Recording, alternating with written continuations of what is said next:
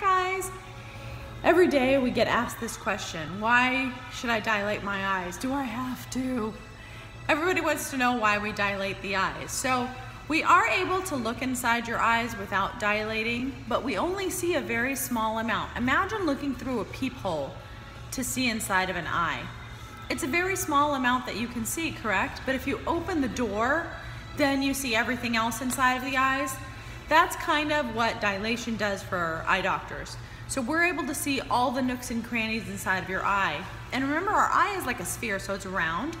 And so we have you look in different directions, up, up and to the left, all the way, all the clock hours, because we're looking at all the different angles inside of that sphere when we're looking in your eyes. And what are we looking for? We look at the blood vessels and the nerves. We look for glaucoma, macular degeneration, but all of the health problems that are in our eyes um, like uh, high blood pressure, diabetes, thyroid eye disease, um, MS. There's so many things that can affect our eyes. And so it's really important that whether you see well or you think you see well or you don't, that you get your eyes tested.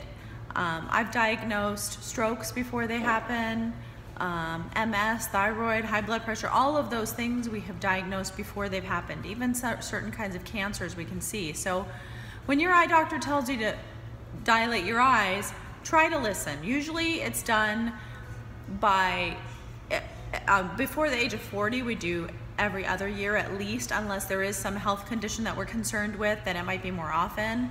Or if we're concerned um, with holes or tears that you already have in your eyes, then we might do it more often. And over the age of 40, then we start doing every year and those are the important things for you to know. If you have any questions, feel free to call, please, anytime, okay? You guys have a wonderful day. I'll talk to you soon.